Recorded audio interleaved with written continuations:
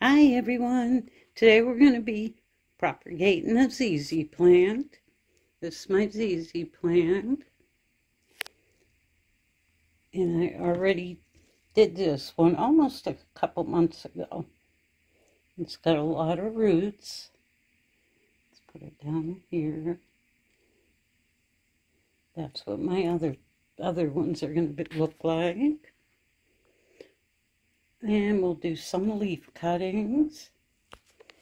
And what I'm going to do is I'm going to cut right down here. This is a short one. I'm going to cut way down as far as I can go. And I'll do another short one. And I'm also going to do a couple longer ones. Then I'll come back and show you that. Just cut close to the dirt down here. Let's see, better view here. Just cut close down in here. You can use scissors or a knife with that.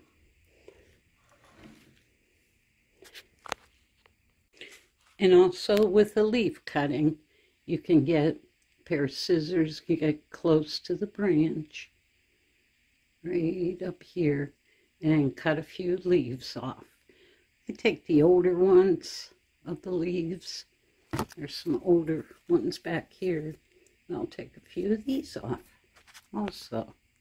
Okay, I cut off two small ones. This is a small one. I put it.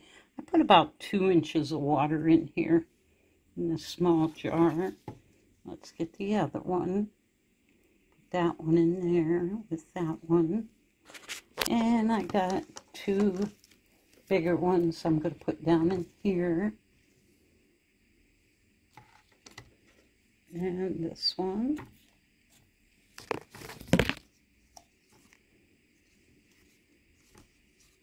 So I'll have four more plants. Well, actually six because I already did this one. And I cut two leaves. Got two leaves down here. I'll be putting them in with the rest of them. These leaves I've only had in there a few days. I could check, see if anything's happening yet. No, it's too soon. So I'll probably show the leaves after they start rooting. All right. If you have any questions or comments, just leave them in the comments section below. And I hope this helped you out. Thank you so much for watching. Bye-bye for now.